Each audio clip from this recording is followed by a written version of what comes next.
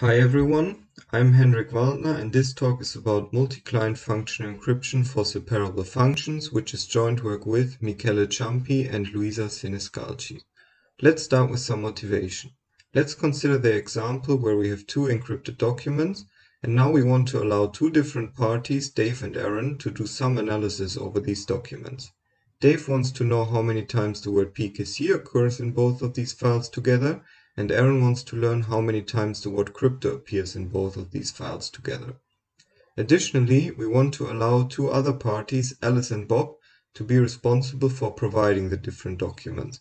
So Alice would be in charge of providing the first file and Bob responsible for providing the second file. We additionally require that the evaluation of Aaron and Dave happens in a privacy-preserving way. That means that they should only learn how many times their requested word appears in both of these documents together and nothing beyond that. In the next steps, we are going to see what cryptographic primitives we can use to achieve this goal. One primitive that might be useful in this scenario is public key encryption. In public key encryption, a setup algorithm outputs a public key and a secret key. The public key can then be used by Alice to encrypt the message X and Bob can use the secret key to decrypt the ciphertext and obtain the message X. The problem of this notion with respect to our use case is that it is not possible to allow for any fine-grained access control over X. Bob either learns X completely or nothing. A notion that allows for this fine-grained access control is the notion of functional encryption, which was introduced by Boneh, Sahai and Waters in 2011. In a functional encryption scheme, the setup algorithm outputs a master public key and a master secret key.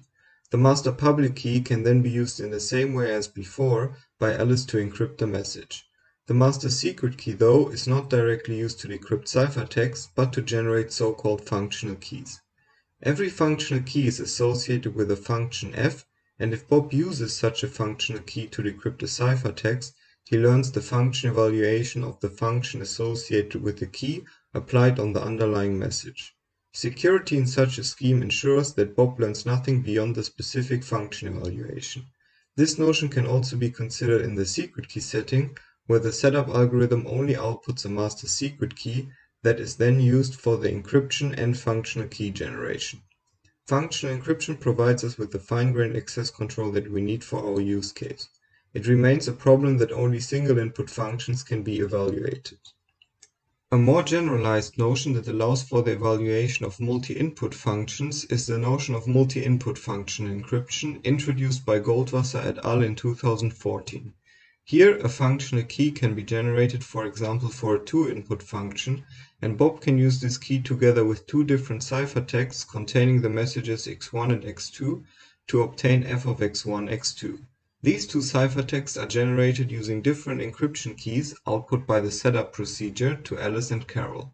A problem with this notion is that if Alice and Carol create more ciphertexts of for example the message x1' prime and x2', Bob can not only compute f of x1' x2' but also f of x1' x2 and f of x1 x2'. A notion that prevents this leakage is the notion of multi-client function encryption. In multi-client function encryption, Alice and Carol use encryption labels for every ciphertext that they generate. This allows Bob to only obtain a valid decryption for two ciphertexts that have been generated under the same label, otherwise he learns nothing. We can see that this notion prevents the previously mentioned computation, since Bob is not able to compute f of x1' prime x2 or f of x1 x2' prime if the corresponding ciphertexts have been generated using different encryption labels. In this talk, we mainly focus on the specific function class of separable functions. Separable functions are functions that can be written as the sum of n individual single input functions applied on all the different inputs. So in this case, Bob receives a function, a key corresponding to the separable function, such that he can learn f1 of x1 plus f2 of x2. This function class is a good match for our word count example and allows a function evaluator to learn the desired information. In this work, we show how to realize multi-client function encryption for separable functions from secret key single-input function encryption. In the setting of multi-client function encryption, a drawback still remains, the requirement of a trusted party that is responsible for the setup of the parameters and the generation of the functional keys.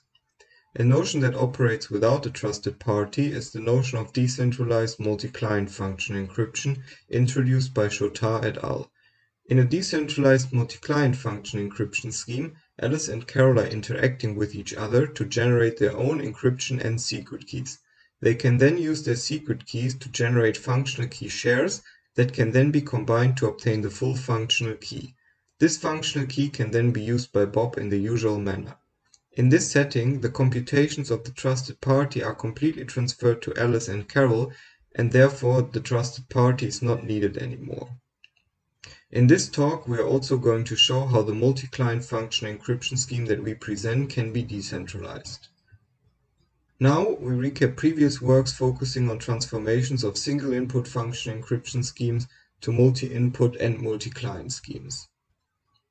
The first work in this area is the work of Brakerski et al. from 2016, in which the authors show how to turn a secret key single-input function encryption scheme for a general function class into a multi-input function encryption scheme with a constant number of inputs. This result was extended one year later by Komargodski and Segev, allowing for a polylogarithmic number of inputs. In another line of work by Abdalla et al., the authors show how to lift a secret key single-input function encryption scheme for the inner product functionality into a multi-input scheme. Additionally, it has been shown in another work by Abdalla et al. How this scheme can be decentralized. In a follow-up work by Abdalla Benhamouda and Gay, the authors extend the previous construction and allow for handling labels. Instead of a secret key single-input function encryption scheme, the authors here need to rely on a public key scheme.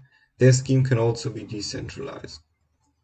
As previously mentioned, in this work we show how to transform a secret key single input function encryption scheme for a general function class into a multi-client function encryption scheme for separable functions.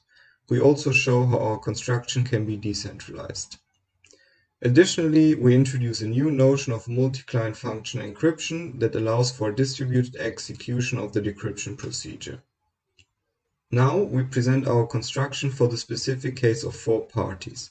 A trivial solution that someone could think of to obtain multi-client function encryption for separable functions is by simply running four different instances of a single input scheme and whenever a key for the separable function is requested, a key for the individual function under each of the single input instances is generated. The final functional key then consists of all the keys of the single input schemes. The decryption procedure for the multi-client scheme then executes the decryption procedure of all the single input schemes using the different keys and sums up all the resulting values. The problem with this solution is that we have an instance-wise leakage of the function evaluation. That means that the decryptor not only learns the evaluation of the separable function, but also the evaluation of each of the individual single input functions. So, for the case of the word count example, the decryptor will not only learn how many times the requested word appears in all of the documents, but also how many times it appears in every single document. Therefore, we need to adapt the construction to prevent the individual leakage by hiding the evaluations of the different single input functions. To achieve this, we can rely on a secret sharing scheme of zero. In more detail, instead of letting each functional key simply output the evaluation of the single input function, the key generator generates a secret sharing of zero and hardcodes one of the shares RIF into each of the individual keys. When the individual keys are then evaluated, they output the evaluation of the single input function plus the share RIF. Summing up all of the outputs of the individual keys then gives the desired separable function evaluation, and as long as the decryptor does not have any knowledge about the different shares, nothing about the single input function evaluation is leaked. A related problem occurs for the generation of the ciphertexts. In the current construction, the encryption labels are not affecting the decryption in any way, which means that it is still possible to decrypt ciphertext generated under different encryption labels. One might think that we can also solve this problem using a secret sharing of zero. But the issue is that the different clients need to agree on the secret sharing whenever they want to encrypt a ciphertext under a new encryption label, and there is no single party that can sample this secret sharing. Therefore, we need a non-interactive solution such that the parties can agree on a new secret sharing of zero for every label on the fly. To do this, we borrow a technique from Abdalla Benhamouda and Gay. This technique works in the following way. We start by considering a more complicated way to generate a secret sharing of zero, where the clients have different shared values with each other. In more detail, the client C1 shares RL12 with client C2, RL13 with client C3, and so on. We can then display the shared values between the clients in this antisymmetric matrix. To generate the secret shares of zero, one simply needs to sum up the shared values in the columns of the matrix. So client C1, for example, computes minus RL12 minus RL13 minus RL14 to obtain its share T1L. We can see that this is indeed a valid secret sharing of zero, since every value occurs only one time positive and one time negative inside this matrix. We can also see that summing up only a subset of the columns of the matrix does not yield zero. To allow for the non-interactive generation of several secret sharings, we need to allow the parties to agree on such a matrix for every label L on the fly. Abdalla et al. achieved this by letting the parties share pairwise PRF keys with each other, which can then be used to generate the different R values by executing the PRF with the corresponding shared key applied on the label L. This solution results in a quadratic blowup of the keys, which means that for n clients we require n times n minus 1 divided by 2 keys overall. Using this technique we can now generate a ciphertext containing the message xi and the value til generated using the PRF evaluations of L under the different keys. To make the scheme work, we additionally need to modify the functional key for each of the single input instances to not just output the single input function evaluation and the hard-coded secret share RIF, but also the value TIL. Furthermore, we also need to add the shared PRF keys to the secret keys of all the different parties to enable them to generate the T values for their encryptions. This completes our construction of the multi-client scheme for separable functions. The security of our construction can be shown by relying on the security of the different primitives. We give a high-level overview how the security of the scheme can be proven. We start by relying on the security of the PRF to argue that the non-interactive secret shares TIL are computationally indistinguishable from randomly generated shares. In the next step, we program the ciphertext and functional keys in such a way that they only contain the sum of the individual function evaluation, the random share RIF of the function, and the non-interactive share of the label TIL. These programmed values can then be seen as a one-time pad encryption of the individual function evaluation using the sum of the random share RIF and the non-interactive share TIL as the key.